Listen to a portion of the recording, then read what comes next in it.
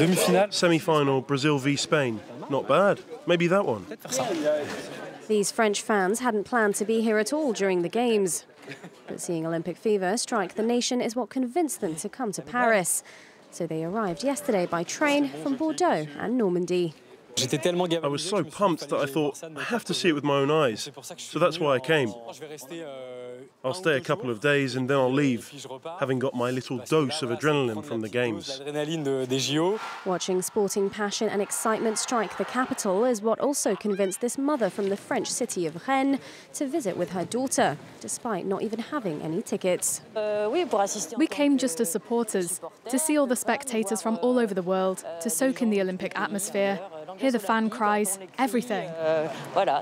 From the other perspective, many locals at first wanted to flee the city, expecting chaos. Like this Parisian dad who's now happy he stayed in the capital.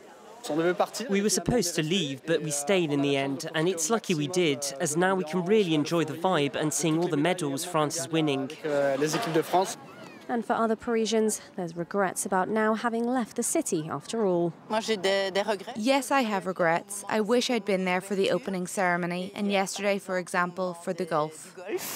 French fans have less than a week left to soak in the Olympic Games before the Paralympics begin at the end of August.